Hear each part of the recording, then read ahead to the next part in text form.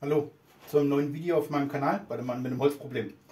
Ähm, das ist meine LT40, die Dana, ähm, und heute werden wir die Einstellung ein bisschen überprüfen. Ähm, deswegen, ich habe das Lineal mal hier drauf geklemmt. So, um zu schauen von vorne zu hinten, dann habe ich hier nur eine Wasserwaage, das ist nur als Richtscheit wegen der Distanz. Und jetzt werde ich mal die Schrauben öffnen, alles, also hinten, die Einstellungen um das Band zu nivellieren und ob die Vorspannung zu prüfen. Das soll ja 6 mm etwa durchgehen nach unten und das werde ich heute alles mal checken. Aber ich werde das Video in mehreren Segmenten unterteilen, weil natürlich gibt sich keiner die Blöße aufzuschrauben, wenn es nicht geht. Deswegen, ich bereite das mal vor. So, hier, Teil 2. Ich habe jetzt mal ähm, am Führungsarm außen, also an der nicht angetriebenen Seite, die, ganzen, die ganze Führungsrolle ausgebaut und habe sie sauber gemacht. Ich habe, ähm, man sieht es hier hinten, also hier vorne hängt es in dem Gehäuse drin und hier hinten wird es gehalten von den vier Schrauben, wo du es dann praktisch verändern kannst. ja. Die Tiefe man lässt einfach locker und rechts, links, oben ab, das kannst du dann hier hinten mit den vier Schrauben einstellen und die Tiefe halt einfach beim, wenn du es zusammendrückst, dann also festmachst. So. Ich habe jetzt die ganzen Schrauben mal hier gereinigt, auch innen drin habe ich es ein bisschen sauber gemacht.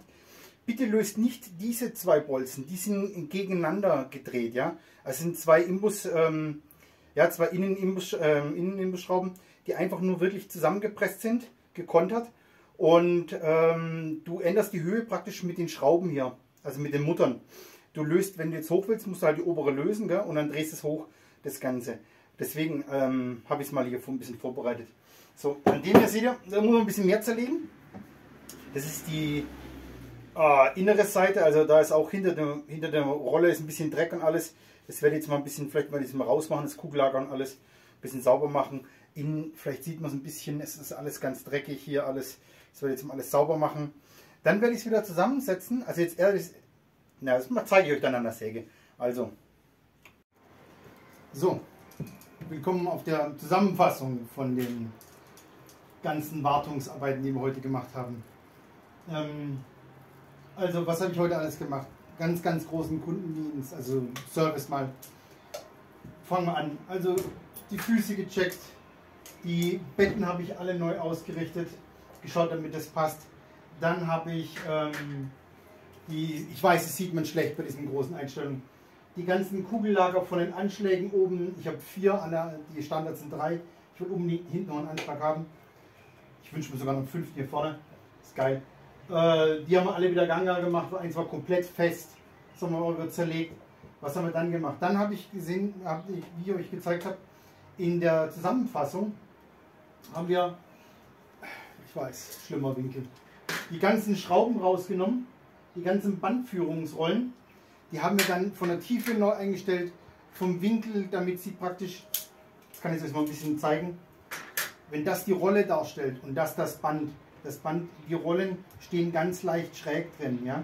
Laufrichtung ist so, dass wenn sie leicht schräg drin stehen, völlig übertrieben, ja? so 2-3 Grad, dass sie eine selbstreinigende Wirkung haben von den Rillen. Funktioniert ganz gut. Was habe ich überprüft? Äh, ob der Arm gut läuft, dass die Einstellung nicht zu fest ist.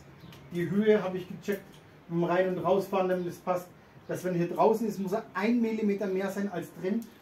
Ist ja eigentlich auch logisch wenn du breite Hölzer schneidest, hast du mehr Kraft nach unten wirken, weil vom Drehmoment.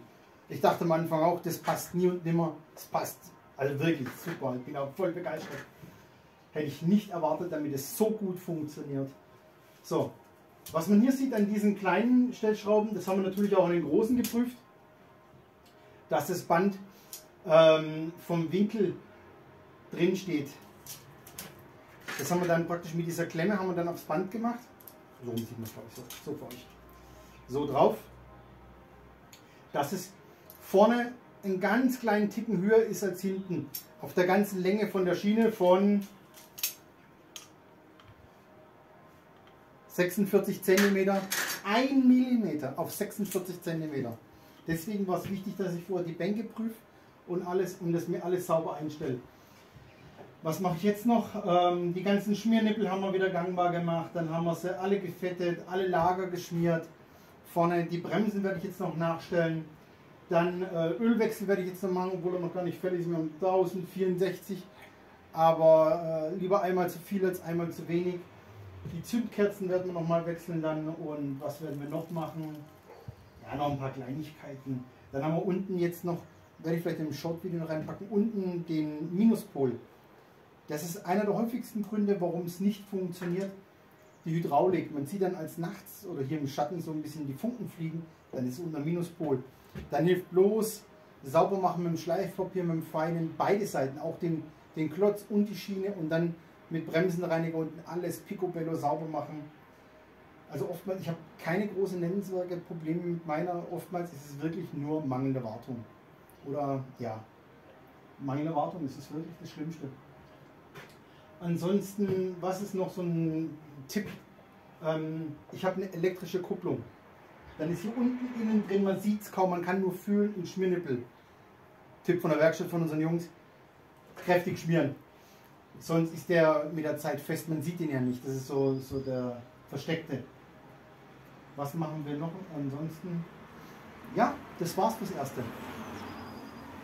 Wenn ihr Fragen habt, ähm, ja, lasst unten in den Kommentaren. Ansonsten wie immer abonnieren und ein Plus da lassen. Danke, tschüss.